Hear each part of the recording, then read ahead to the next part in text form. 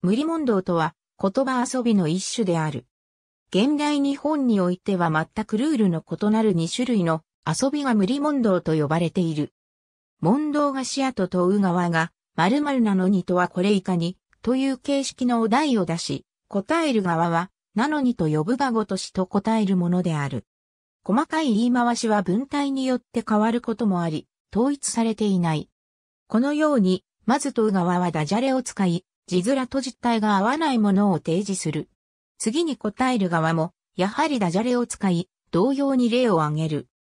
両者ともに、ダジャレを使わず単に名称の矛盾を指摘するもの。例えば、鉛筆を入れても、筆箱とは、これ以下に、プラスチックでできていても消しゴムというがごとしなどは不可である。また、問答である以上、答えは問いに対してこうしたものである必要がある。つまり、問いの主題と答えの主題が何らかの関連を持っているものが好まれる。いつから無理問答と言われるようになったのか、またその起源は不明であるが、この形式のざれとないし、言葉遊び自体は少なくとも江戸時代には存在していたようである。現在の品川区北品川の東海道、品川宿跡に、門道菓子跡という旧跡がある。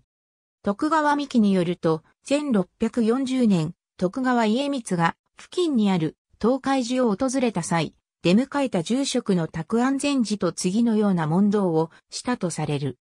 なお、開け、本喫記で放送された同様、一本でも人参は歌詞の大半がいわば無理問答の連鎖によって構成されている。バリエーションの一つであると言えよう。相手の発言や質問に対し全く噛み合わない、返答を二人で交互に行い、辻褄の合う会話を成立させてしまった方が負けとなるものである。発言、質問、返答は相手の言葉につられることなく素早く行わなければならない。この場合、今何時？という質問に答えてしまった方が負けとなる。ありがとうございます。